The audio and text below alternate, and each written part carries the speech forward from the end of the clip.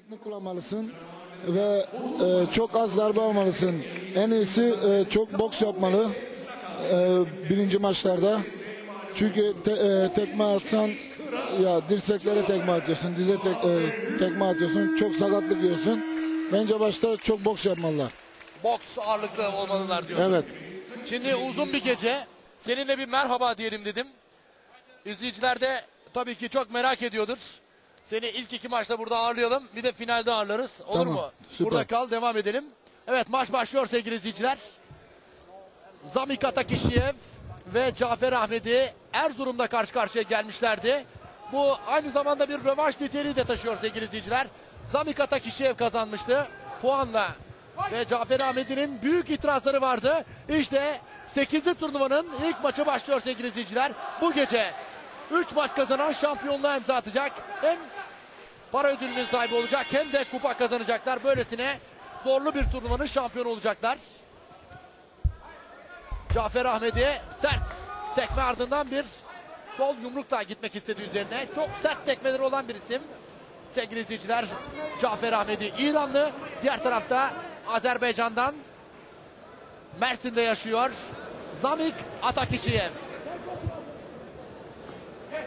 Sert başladılar aslında ama birbirlerini çok da iyi tanıyorlar. Dönerek süper bir tekme. Hemen püskürtüyor. Kontraya çıktı orada. Zamik Atakişiyev'in döner tekmeleri çok feci Gökhan. Evet, e, Cafer Ahmet Cafer Ahmet de e, bundan önce dövüştüğünü gördüm. Bayağı eksplozif dövüşçü. E, ne yaptıysa hep sert yapıyor. Yani güzel. Bu arada bu arada yine talihsiz bir olay yaşıyor. Tayland'daydı sevgili izleyiciler. Tayland'daydı Evet. ve Tayland'da yine buna benzer bir bel altı vuruş gelmişti. Hastanelik oldu sevgili izleyiciler. Daha 20 gün önce Evet. Tayland'daki büyük turnuva vardı belki ben, ben, duymuşsundur. ben de oradaydım. İşte Ben Cafer de Ahmet'i orada yine bel altı vuruş ama çok ağır bir bel altı vuruş almıştı. Evet, ben kendim de Doktora oradaydım. gitmek zorunda kalmıştı. İşte tekrar izleyelim pozisyonu nasıl bir bel altı. İşte geliyor. Ama Tayland'dakinden daha hafif ama Evet, Tayland'da bayağı bir iyi darbe yemişti. hastanelik olmuştu. Hastaneye Evet. gitti. Tayland'daki rakip de galiba 130 kiloydu. Çok büyük birisiydi yani. Bakalım ne olacak. Erdal Kısa hemen oradan müdahale etmek durumunda kalabilir. Bu durumlarda aslında böyle bizim mahallelerde vardı.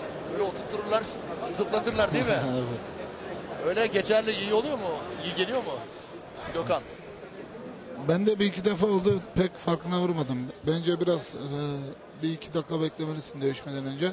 Çünkü oraya darbe yedikten sonra konsantre gidiyor. Yani bu gerçekten çok enteresan bir durum söz konusu. Zaten doktora gitmişti. Şimdi ringin dışına çıkıyor. Acaba bırakacaklar mı?